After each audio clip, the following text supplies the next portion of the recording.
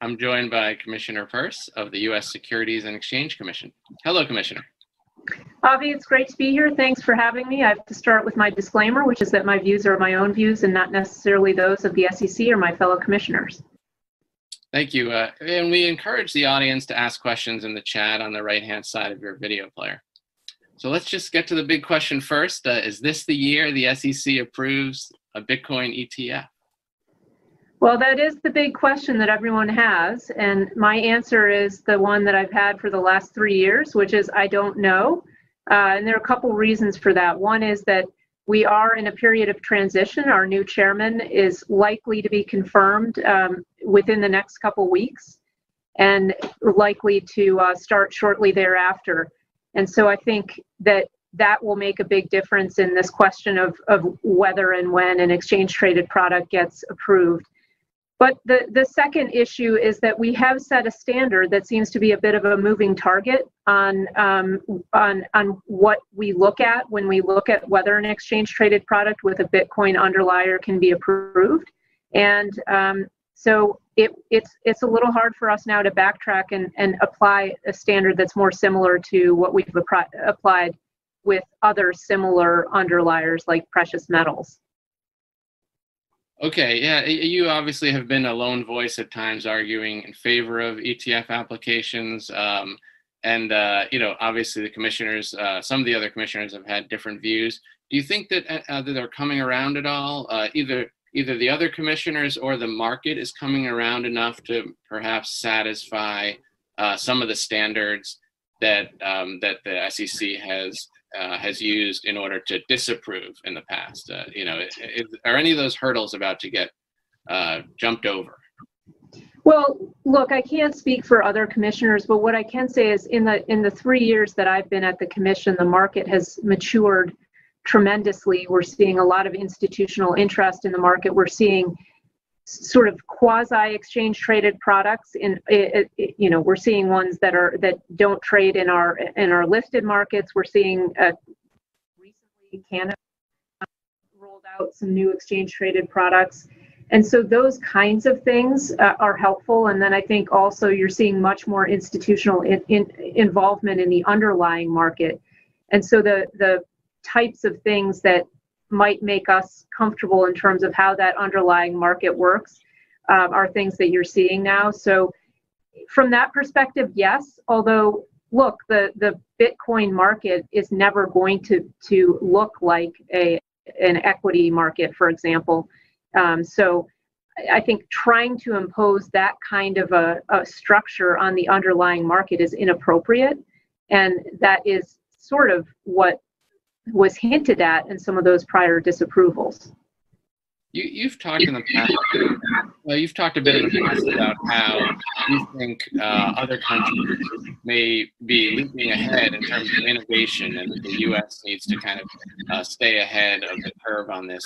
Do you think that's starting to happen? You know, obviously uh, China has uh, developed a central bank uh, currency. Some other countries have become uh, more friendly jurisdictions for crypto companies. Is that already happening? Uh, is the U.S. a little bit behind the curve in your point of view? I think we're certainly behind the curve. We've seen other countries take a much more, I would say, productive approach to regulating crypto in the sense that it's not saying we shouldn't have any regulations at all. They've just been saying, let's build a regulatory framework that works for crypto. Our approach has been much more of a of a say no and tell people to wait approach. So I think we really need to turn that around, be willing to work to build a framework that is appropriate for this industry. And I'm optimistic that with a new chairman coming in who has deep knowledge of these of these markets, the crypto markets, that we, that is something that we could do together is build a good regulatory framework. Um, but other countries have been moving ahead. I, I think with respect specifically to the CBDC, the, the central bank digital currency, um, a country like China that has has um, surveillance that sort of is part of the package along with the, the central bank digital currency. I'm not sure how much of a competitor that would be for either private market uh, digital currencies or a digital currency that, that the United States could develop, um, that the Fed could develop in the US Do, you think it's time for the Fed to do that?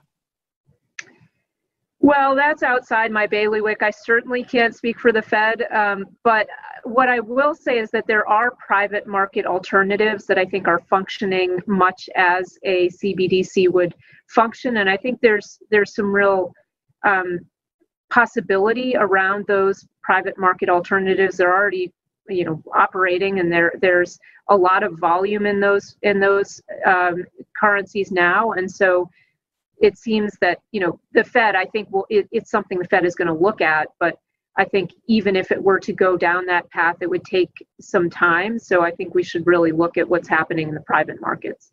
Okay, are you referring to stable coins there for the most part? I am. Yes. Okay. Okay. Um, you know, you know, for years, uh, investors have kind of warned, or or investment managers have warned that the government could always ban this, uh, Bitcoin in particular. Uh, are we past that point? Uh, you know, is is are there so many nodes running around the world that the notion that the government could ban Bitcoin is is no longer a possibility? I think we were past that point very early on because you'd have to shut down the internet, as I've said in the past. I don't. I don't see how you could ban it. You could you can certainly make the effort. A government could say it's not allowed here, but but people would still be able to do it, um, and it would be very hard to stop people from doing it. So I think that it would be it would be a foolish thing for the government to try to do that. Um, and and I think we'd be missing out. You know, a bigger a bigger problem is that we'd be missing out on the innovation around around Bitcoin and other digital assets if we decided to try to stop them. Uh, in a speech last month, you you talked about um, Bitcoin being uh, a, a, medium that could be used by, say, the freedom fighters uh, of today, or you know, and you even referenced uh, Harriet Tubman as you know, a freedom fighter of the past who who had trouble getting financing for her heroic work. Uh, who who is it now who are the sort of freedom fighters of the moment that are using Bitcoin or or might be able to use it in the near future? Well, there certainly aren't too many uh, too many Harriet Tubmans in the world. She was an amazing woman who, um, the more I read about her, the more more impressed I was. But I think there are people in today's world who are um, living in conditions where it's very difficult to to carry around a lot of a lot of um, currency, for example, or they're in situations like a woman living in a rural community where she's very dependent upon others um, to to support her and therefore she she could become a victim of, of violence or something like that. If she has access to a computer where she can actually do work and get compensated for it in cryptocurrency and then take that cryptocurrency with her if she's trying to escape a bad situation those are the kinds of things i think of. Or refugees living in refugee camps you, you see um, you know the the really difficult situations they're in they could if they have if they have internet access they could actually be earning money in cryptocurrency and carry that with them in a way that um, they could they could actually travel as they might need to do. So there are real opportunities and i think we need to we need to remember that when sometimes we're thinking of the the negative connotations that go along with cryptocurrency, but we should also think about this other side of things that it can really liberate people and enable people to get out of really difficult situations. Yeah, with that in mind, I, I did want to ask about the negative connotations as well. Um, you know, in particular, obviously, there there were reports that said that uh, some of the people involved in the Capitol riots had received Bitcoin in advance of it. You know, the Mueller report did discuss uh, how Bitcoin uh, was used um, by Russian hackers uh, to, uh, to to you know finance some of the hacking operations. Uh, what is the government's role in stopping that sort of thing? You know, is, is there a concern that uh, Bitcoin is is too hard to stop for those kinds of uh, events? Well, the government certainly has a role in trying to stop um, all of those kinds of events. And I think whether you're getting paid in Bitcoin or, or getting funded with cash, um, or with some other currency, the, the goal is to try to stop that kind of behavior. I, I actually think that with Bitcoin, there's a trail there that does make tracking that uh, payment flow perhaps easier than it would be, certainly easier than it would be with, with physical cash. Um, and so there are firms that exist that can track back Um, but you know, I think the bottom line is that people are people, and so they're going to do good things and bad things with a tool that you build. Um, and so, don't blame the tool, but try to go after the the, the people with uh, bad who are doing the bad things. Okay. As far as um, Bitcoin market structure, too, uh, there's some criticism about Bitcoin, just like there's some criticism about the U.S. economy, that there's a lot of power in the hands of a very few, uh, beyond just Satoshi. Uh, that that you know there are uh, perhaps a few hundred people who own the vast majority of uh, the bitcoins in the world, and if this is to be used for the good of the people, you know, the, the notion being is there too much uh, market power in the hands of a few? And is there a way to deal with that uh, at the government level? Well it's a new technology and uh, relatively new now. It's a decade old. And and so the people who got in very early certainly have done well so far. Uh, but it's a technology that is inherently very democratic and um, anyone can participate uh, anyone can receive and send Bitcoin who has, again, who has access to, to a, a computer um, or a mobile phone for that matter. So everyone can participate. And I think um, as, as we see more interest uh, across the world, you're going to see a, a broader diversity of, of people participating. I frankly think that the legacy financial system is, is, is much more concentrated and, and tends to concentration much more than than a decentralized crypto um, financial system. You know, the uh, regulatory bodies in the United States have taken often a slightly different role um, in in regulating Bitcoin. So the IRS, uh, you know, may call it an asset. The CFTC may say it's a commodity. The SEC, of course, is going to review any uh, Bitcoin ETF. Is there some is there some necessity for some larger body to come in and kind of tie all of these together? Because some of the crypto entrepreneurs will say you know i hear one thing from my friends on this uh, you know on this part of the hall and something else from the other side of the hall. Is there some uh, regulatory shift that has to happen to make this uh, more understandable for operations well, I think it is a complicated regulatory structure that that anyone in this industry runs into. It's not only at the federal level, but at the state level, you've got lots of interest. And that's a bit of a function of the fact that that's just how our financial regulatory structure is designed. But I think there is a role for Congress um, to come in and, and maybe draw some clearer lines or at least urge us as regulators to get together and, and kind of figure out what falls where. Um, I think there's also room for potentially setting up a cross agency sandbox type thing where people could come in and experiment with different things if they weren't sure exactly which box, which regulatory box something fit in. Um, so, those are a couple of the th- things I would do. I think we as regulators can work together anyway. I mean, we have a very close relationship with our fellow capital markets regulator, the CFTC. Um, and I think there's room for us to get together and, and have conversations specifically about crypto. And, and I'm hoping, since we're getting a chairman who used to be the chairman of the CFTC, I'm, I'm expecting that relationship to be a really strong one and, and for him to have a good sense of kind of how the regulatory, the regulatory boundaries should be drawn. Uh, great. Yeah, we'll, we'll hear from him soon, hopefully. Um, the we did get a, an audience question and we, we definitely have time for a few more so please do uh, put your questions uh, in, in the chat box for uh, for the commissioner. Um, one, one question we got is that uh, is about the role of uh, electricity um, you know in in crypto. Uh, that you know uh, electricity is kind of a, a, a, fundamental key driver for crypto. Obviously, it's been um, it, it's there's been one criticism that it's uh, you know environmentally inefficient. That uh, um, while you know, and and this commenter said you know gold is sort of it's uh it, it, it doesn't need all of that though of course you have to mine it so it's not exactly a uh, a, a victimless um, uh, operation as well.